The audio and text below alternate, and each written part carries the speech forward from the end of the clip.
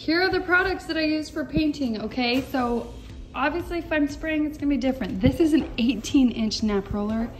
This is a game changer. The brand is Purdy. I just bought the 18 inch roller with the nap. I, this will make things go so, so fast.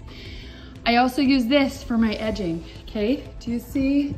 I can't go anywhere tall enough. It goes like this. You just load it up with paint. It can put, you can put a little stick on it if you want. It just runs along the ceiling and it will get your edges for you. And it's the best. And then also for areas that I can't reach with this, I always have a, a paintbrush. Sometimes I'll do my corners with a paintbrush, but like corners that you can't get with that square one, I'll do with this too.